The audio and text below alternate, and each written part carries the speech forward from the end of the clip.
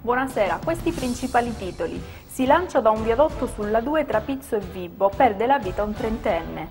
È stato arrestato a Malta il latitante Antonio Ricci. Scoperte armi, munizioni e droga nel territorio di San Gregorio di Pona. A Mileto i carabinieri di Vibo hanno trovato droga nascosta nelle pareti di casa. La seconda parte sarà dedicata ai riti pasquali nel territorio. Questo e tanto altro tra poco.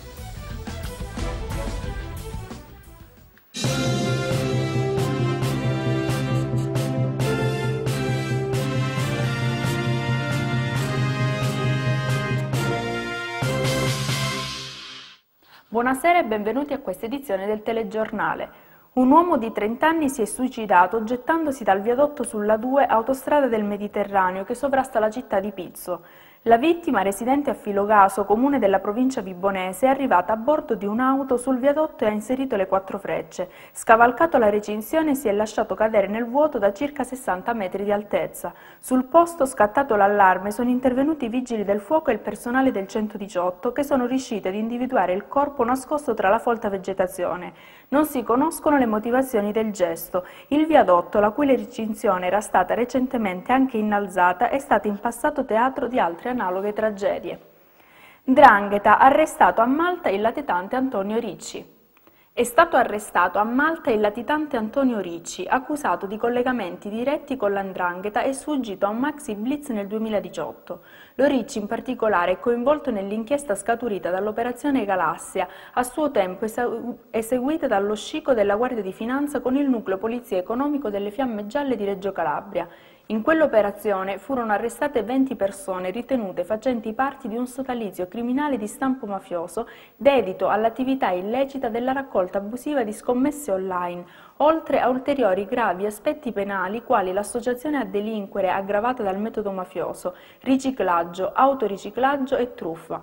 A suo tempo Ricci era riuscito a sottrarsi alla cattura, ma il paziente lavoro di indagine delle Fiamme Gialle sotto il costante coordinamento della Direzione Distrettuale Antimafia di Reggio Calabria ha fornito elementi precisi sulla sua esatta localizzazione, consentendo l'arresto da parte della Polizia Maltese in collaborazione con lo SCIP del Dipartimento della Pubblica Sicurezza del Ministero dell'Interno e con il secondo reparto del Comando Generale della Guardia di Finanza. Sinergia internazionale che ha portato ad eseguire il mandato di arresto europeo emesso dal Tribunale di Reggio Calabria nei confronti di Ricci. Una decina di lavoratori di un'azienda agricola di Ricadi impegnata nella coltivazione e commercializzazione della cipolla rossa di Tropea ha inscenato una protesta pacifica lamentando l'inadeguatezza delle retribuzioni salariali e astenendosi dal lavoro. Sul posto sono intervenuti i carabinieri che hanno attivato il nucleo ispettorato del lavoro dell'Arma. I militari del NIL, a seguito di un controllo sulla posizione dei lavoratori, sono giunti all'individuazione di un lavoratore privo di un regolare contratto del lavoro e impiegato in nero. Al titolare dell'azienda è stata elevata pertanto una sanzione amministrativa.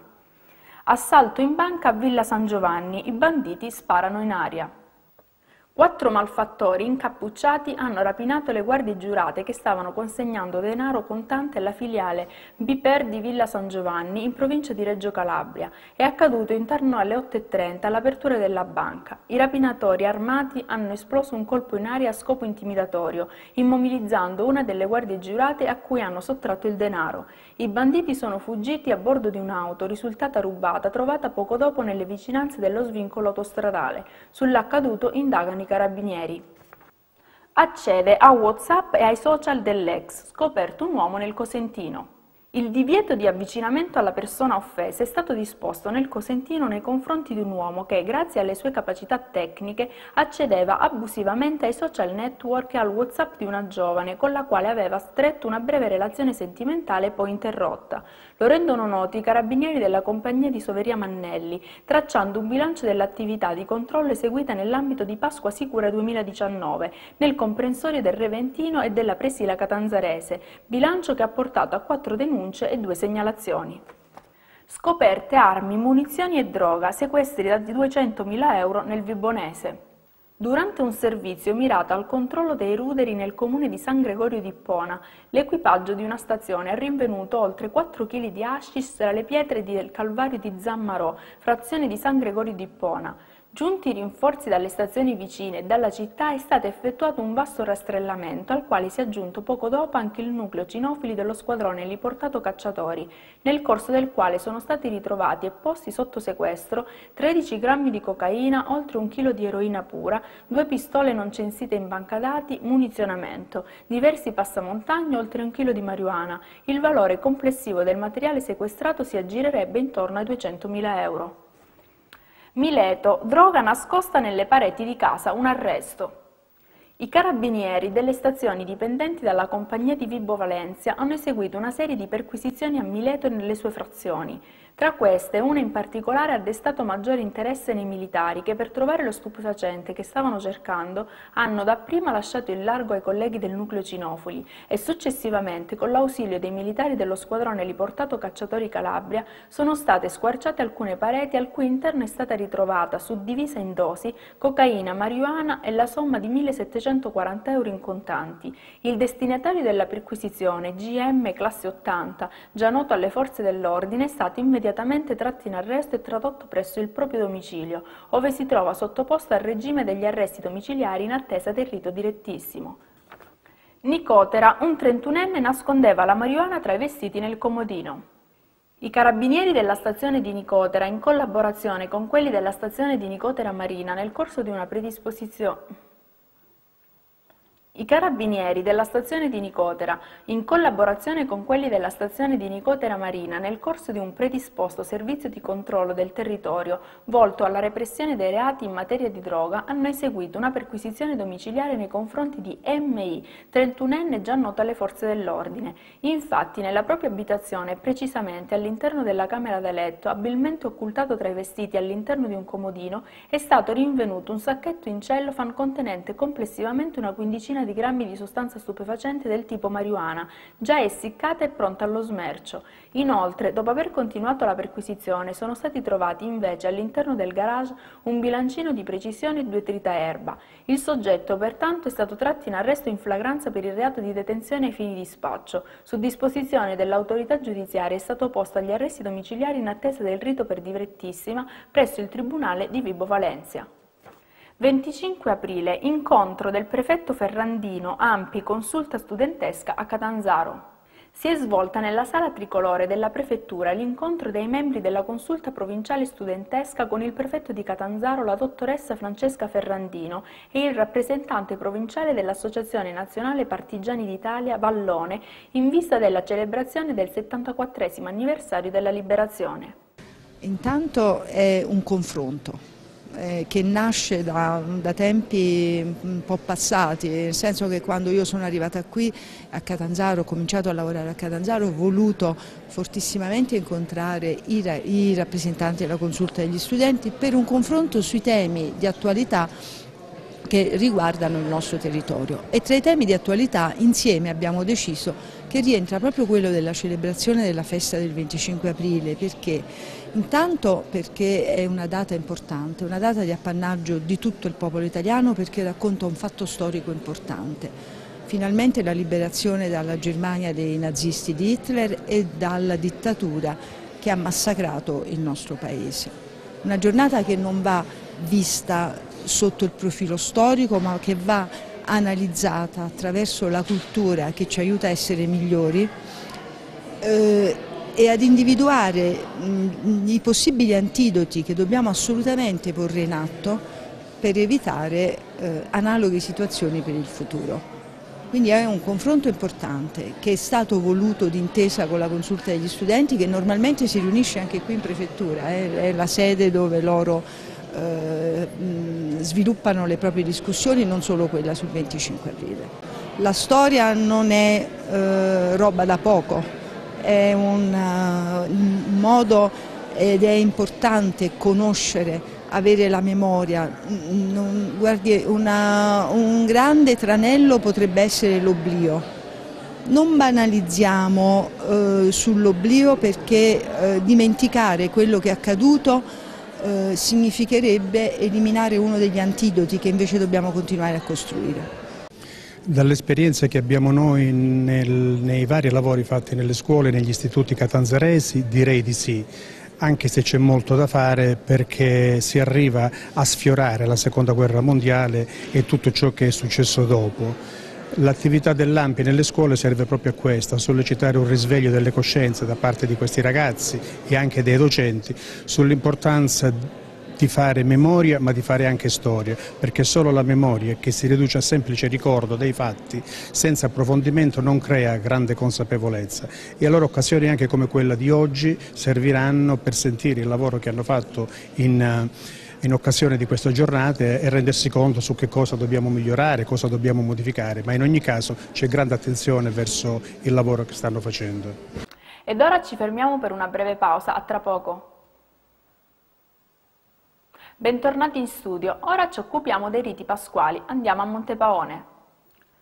La Passione di Cristo, rappresentata a Montepaone Lido per iniziativa della locale parrocchia diretta da Don Bernardo e grazie al fattivo contributo dell'associazione La Porta del Domani, ha riscosso un notevole successo. Teleionio, sensibile agli eventi di qualità, era presente e ha seguito per i telespettatori l'evento. Sentiamo le interviste di Fabio Guarna.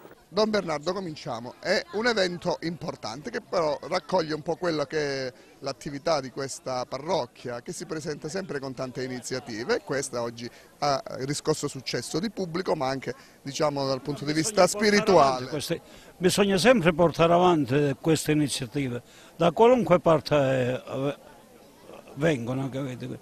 e quindi stasera abbiamo mobilitato la costa ionica Peccato che i sovrattesi sono rimasti sovrati per passeggiare sul lungomare, perché la loro passione che hanno fatto era forse migliore. Ringrazio qua l'artista, e lui è il regista di tante cose. Speriamo che fa una bella pigliata stasera. sono contento davvero, capito? E sono contento perché lui è venuto a riprendere questa scenografia, avete capito? Ti posso solo offrire una pizza.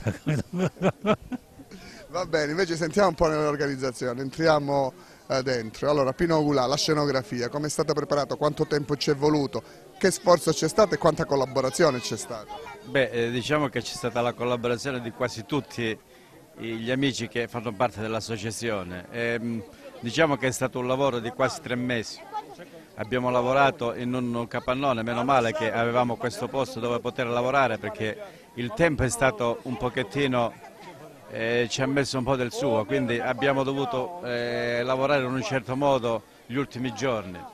C'è stato un problema, però ecco, abbiamo risolto un po' tutto perché eh, siamo riusciti nel tempo a realizzare questa bellissima eh, scenografia e spero che sia andato tutto bene perché è chiaro che eh, alla fine quello che conta è, è, la, è la bellezza che noi mostriamo soprattutto quando facciamo queste manifestazioni. Ecco, io ne approfitto, uh, l'impegno del presepe, ormai lo sappiamo, Pino Gullà bravissimo, conosciutissimo, ecco, possiamo prenderlo anche come un impegno questo per uh, Pasqua? Ma questa è, diciamo che è la terza volta che noi facciamo la passione, non è la prima volta, l'abbiamo fatta cinque anni fa, è chiaro che per fare un lavoro del genere ci vuole tempo e ci vogliono gli spazi proprio per creare questo tipo di, di, di, di scenografia.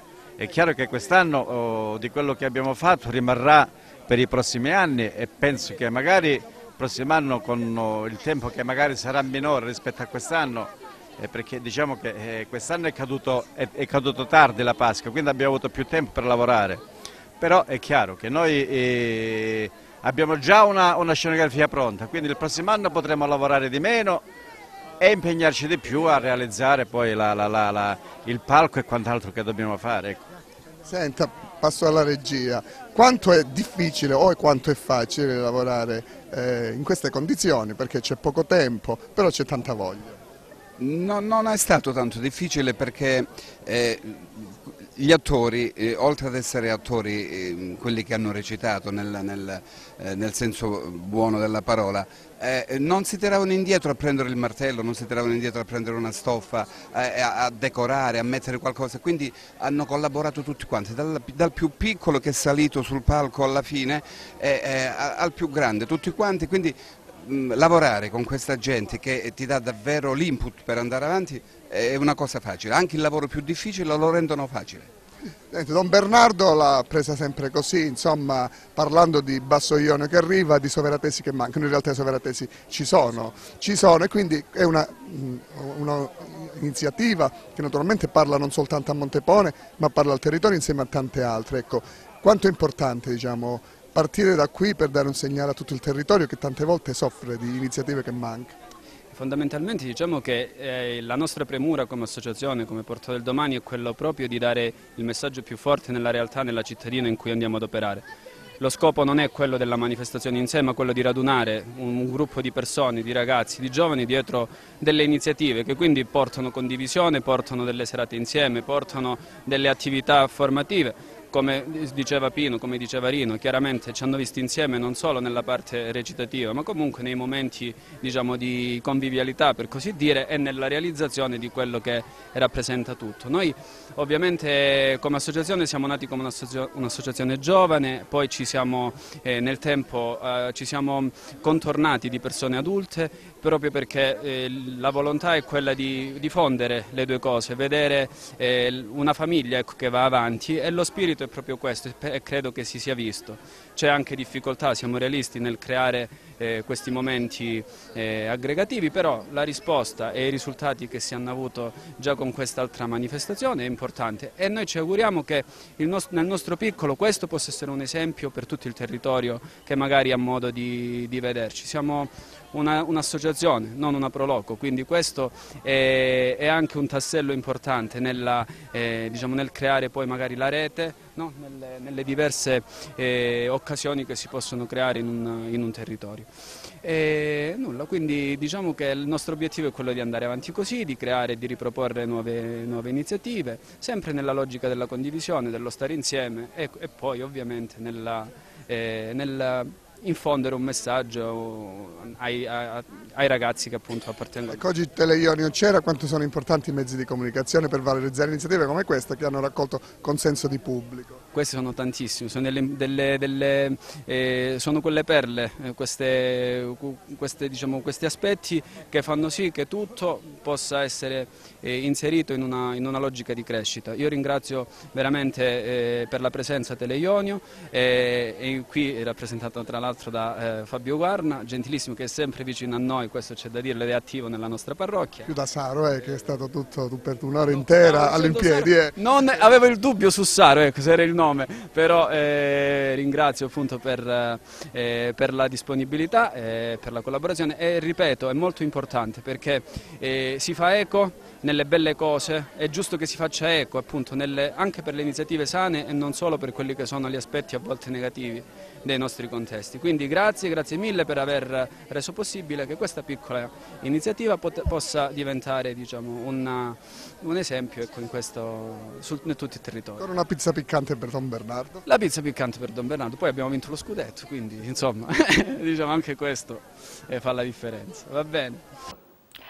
Ed ora a confronta a Chiaravalle Centrale.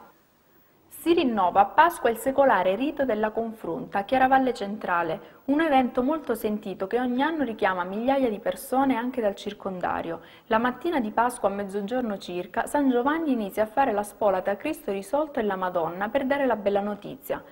È questione di attimi quando da un capo all'altro di Piazza Dante inizia la corsa delle statue in mezzo ai tanti fedeli. A un'estremità la Madonna vestita a lutto insieme alla Maddalena, all'altra Cristo risorto e San Giovanni. Al momento dell'incontro delle statue viene tolto il velo del lutto alla Madonna e parte così un applauso fragoroso tra la commozione generale. Sentiamo il parroco Don Roberto Celia.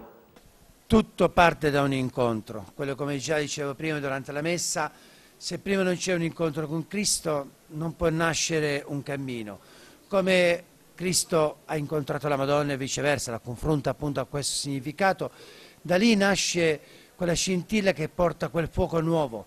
Noi abbiamo una tradizione dietro che è veramente una base, quindi abbiamo quel senso di appartenenza alla comunità, alla nostra fede, quindi alla nostra famiglia ma è importante ogni giorno di più rinnovare, altrimenti, come diceva il Papa in un'altra occasione, che riportava un pensiero di Maier, diceva si rischia di adorare le ceneri invece di alimentare il fuoco.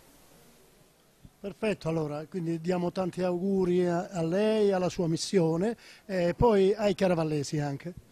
giustamente a tutti quelli che ci seguono, in modo particolare quelli che non possono partecipare a tutte le funzioni, agli, emigra agli emigranti e anche cogliamo l'occasione per gli immigrati, per coloro che appunto adesso iniziano a far parte della nostra comunità, perché questa sia un'occasione di dialogo, di incontro e di crescita insieme.